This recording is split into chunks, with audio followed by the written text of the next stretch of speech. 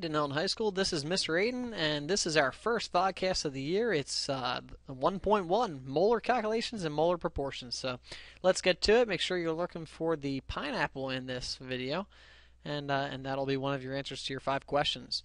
So let's first talk about molar calculations. Yes, that's a mole up in the upper left-hand corner, but we are talking about moles, which is basically just a count of something.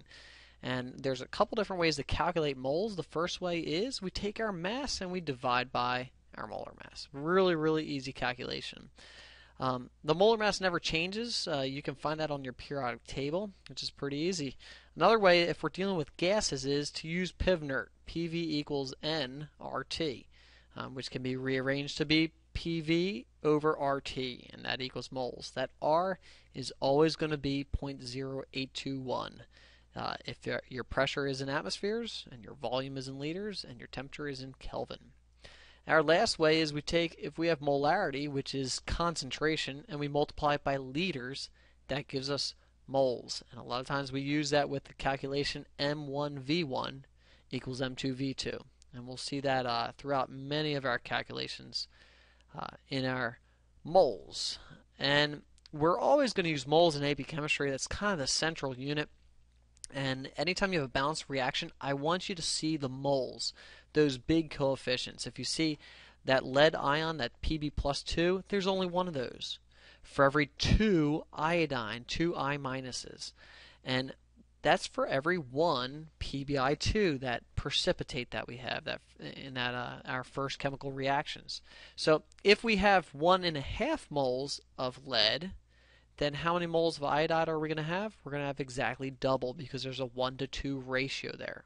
So if we have 1.5, we're going to get 3 moles of iodide. How many PbI2s will we have at the end? We'll just have 1.5 moles. And if you see, because there's a 1 to 1 ratio between the Pb plus 2 and the PbI2.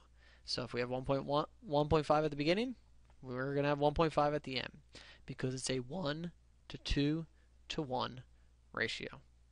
Let's take a look at another problem here. We have water um, being uh, decomposed by by electricity into hydrogen gas and oxygen gas. And let's say they give us grams to start off with 36 grams of water. Well, we always want to change that into moles. And just like our calculation, we divide by his molar mass. We divide by 18 grams per mole. 36 divided by 18 is a nice, easy 2 moles of water. If I have 2 moles of water, how many H2s do we have? We have 2. Why? Because it's a 2 to 2 or a 1 to 1 ratio. Look at my ratio between water and oxygen gas. It's a 2 to 1 ratio. So if I have 2 moles at the beginning, I'm going to have 1 mole at the end. What can I do? I can always multiply by our molar mass to get our mass of hydrogen gas. We can multiply our molar mass to get our mass of oxygen gas. And one thing I want you to take a look at is the grams, the mass is conserved. It's we go from 36 grams and it breaks down into 4 grams and 32 grams. That's conserved. Mass is always conserved, but moles are not. Take a look at our ratio at the bottom. It's 2 moles equals 2 moles and then 1 mole. It's not conserved. Moles are just ratios. Just ratios. I do want to show you um, a way to take a look at our mole, molar proportions, our, our moles as proportions, and it's pretty easy. Anytime we have something like carbon dioxide, if, if I know how much mass I have of carbon dioxide, I can find everything on the inside. I can find this, the grams of, of carbon, and I can find the grams of oxygen, and it's nice and easy. Okay, There are a couple different ways to do these types of problems. The first way to do this problem is we could do it by the train track method. That might be something you learned last year. Let's say we have 22 grams of carbon dioxide. And let's say we want to find our grams of just carbon. Okay, We're going to do our train tracks here. We divide by our molar mass. That's one of our calculations. There's 44 grams per mole, which gives us moles of carbon dioxide. Then, if you think about it, we can take one mole of carbon dioxide. For every one carbon dioxide, we have one mole of carbon. And we know carbon is 12 grams per mole. And it's nice and easy in that if you take a look, our 22 and 44 go down to 1 to 2, doesn't it?